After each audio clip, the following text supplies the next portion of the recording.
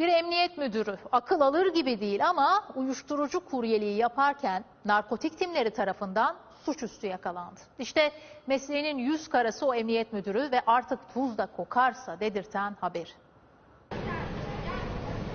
Uyuşturucu kuryeliğine soyunan emniyet müdürü meslektaşları tarafından kıskıvrak yakalandı. İddia göre İzmir'de çalışan emniyet müdürü Zafer Çevikgöz yanında uyuşturucudan sabıkalı bir kişiyle beraber İzmir'den İstanbul'a geldi. Yaklaşık 2 kilo uyuşturucu aldı ve arabada gizledikten sonra tekrar İzmir'e doğru hareket etti. Polis kimliğini kullanıp İzmir girişindeki denetimlerden rahat rahat geçebileceğini düşünüyordu. O farkında değildi ama iddiaya göre araç narkotik timlerinin takibindeydi. Polis içerisinde emniyet müdürü ve iki kişinin bulunduğu aracı Manisa'nın Akhisar ilçesinde durdurdu. Arabada arama yaptı ve 2 kilo uyuşturucuyu buldu. Yine iddiaya göre emniyet müdürü polisi görünce üzerinde bulunan bir miktar uyuşturucuyu da dışarıya attı. Ekipler mesleğinin yüz karası o müdür ve araçtaki iki kişiyi gözaltına aldı. İddiaya göre emniyet müdürü uyuşturucu sevkiyatı yapılırken polis noktalarından kimliğini göstererek rahatça geçiş yapmak için o arabadaydı. Adliyeye sevk edilen